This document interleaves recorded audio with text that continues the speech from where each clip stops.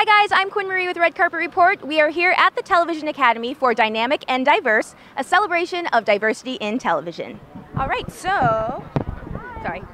That's Can we get that's JD? quite all right. Okay. No, you, you, you're quite high there. I I'm, you know, I'm trying to make it work. I'm short, so Right. gotta be on everybody else's level. Um, how's it feel tonight to be uh, celebrating diversity with everybody here for this event? Well, it, it really is quite an honor, and I, I still don't even know how my name got on the list because I've been I've uh, I'll be showing up on the new uh, the new sitcom Mulaney. Yes. I've also been doing Criminal Minds. I'll be in this week's episode of Mike and Molly, um, movie movies of the week sort of thing. I've done 80 commercials, so I I I actually kind of feel like I belong. But You're a pro, yeah. You're Yeah, thank you. You're Yeah, red, but I, but I just I still can't quite believe that I'm actually here. I'm actually walking a red carpet. Uh, it, it does feel different, very different. Does it? Yeah, yeah. Very Uh, nice. depend, I know this could just be the shoes I'm talking about here. I took time to polish. So- look great on the carpet. Oh, thank you very much. so you, yeah, you're in the new show, Mulaney. Uh, what can you tell us about filming that?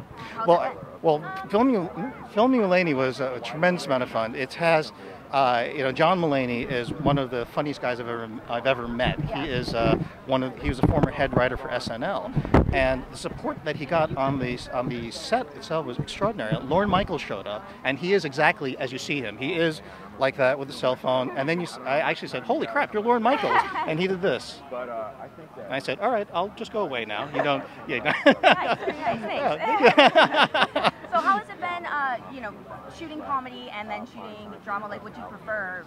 Well, to be honest, I prefer uh, comedy because yeah, there's so much more flexibility that you can do in comedy. Uh, like out- comedy's harder, harder to do. it, it can be, but if you fall over stuff like I do all the time, it's really, really easy. Like, abs- oh gosh, yes. I was just on the set of this thing called The Reluctant Nanny for the Hallmark Channel, and uh, halfway through my scene, my chair tips over backwards. So I'm saying, well, you know, you'll need to, you know, I'm doing that, and they, they didn't even yell cut. They said this kept going and going. That works. So- We'll use that. Yeah. Right, but if you're doing that, uh, I play an oncologist in many things. Uh, I'll be in the uh, season one finale for Chasing Life on ABC Family, Okay. and I play an oncologist who has to talk to this kid whose leg I've already cut off Mm-hmm. because he's got horrible bone marrow cancer. I, there's, it's you. You start. I actually started crying in the middle of the scene, and I realized I, I can't just I can't start dashing away Yeah, my tears. It's, yeah. it's just not professional. No. But neither for an actor nor for an oncologist. Exactly, If an oncologist cries in front of the parents, then they're they're gonna look for somebody else. I there, I suppose. I, right? I would say so. But comedy is so much more flexible and so much more liberating because you get to do that sort of thing. That's cool. Well, and so having worked, you know, in Hollywood for a really long time, being a person of color, did you have role models growing up that you looked up to, or what made you want to become an actor? Well, the role model that really the only one that I can think of is that the fabulous, the fabulous George Takei. Uh, George, George, oh my, we knew George before he said oh my ever. Uh, but he was really the only one. And uh, what was really wonderful about George is that there was nothing particularly Asian about him. He was a member of the Starship crew. He was an integral part of it, uh, and it, it was no big deal. Yeah. So that, I know that was the fundamental episode. Like, to me, that was a fundamental message of Star Trek itself, and and George really personified that for me, and that really uh, that really inspired me to believe. I don't have to fulfill specific narrow roles. Uh, I could do pretty much whatever was required as needed. That's great.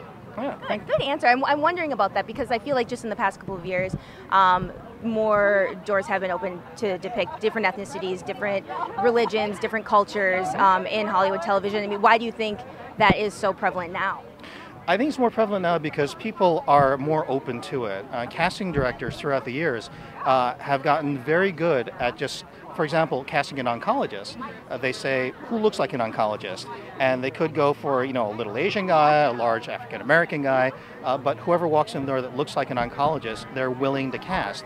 As opposed to in the past, they would just want, uh, you know, some silver-haired, 50-ish Yeah. guy who looks like he's from Emergency in the year 1973. So, so yeah, there, definitely there's much more flexibility in what is considered acceptable, what's considered possible. Uh, this actually, I think, this goes through uh, to theater as well, because in theater, much more is allowable. Uh, I, one of the first things I ever did was I was in the play. Excuse me, I was uh, in the play 1776, Okay. and that is set in American colonial times in 1776, and there were no Orientals. Excuse me, no Asians. Sorry, no. I, I do that a All lot. So the room are yeah, Asian. But who said that? who said Oriental? My God, I'm. uh, yeah, I slip quite a lot. That's all right. It happens. You're allowed. You're. Thank you, thank you very much.